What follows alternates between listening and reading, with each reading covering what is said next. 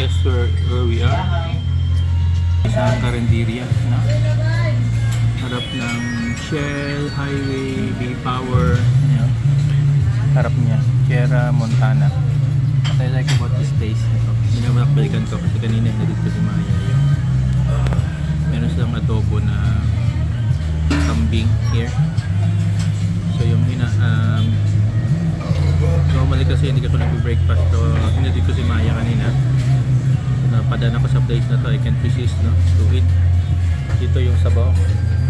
Sinampalukan na kambing of course may rice tayo no?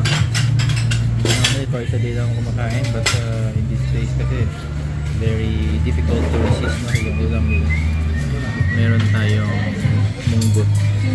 No munggo. Super sarap. Mura lang to. Very clean din yung place facilities niya. Ay yung maganyan uh, yan ang facilities niya. Malinis na. Yun yung mini-maintain. Happy yung mga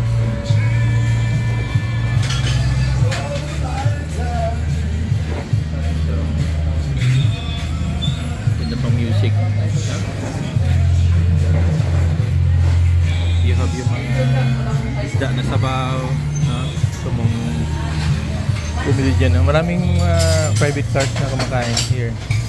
Uh, doon mga iba-iba no? mga sabaw isda, baboy uh, baka, fish. But of course yung uh, special specialization nila itong mga kambing no? the meals kambing halo sa munggo. Wow. Super no? made my day na. Tapos yung sabaw na sinampalukan na kambing.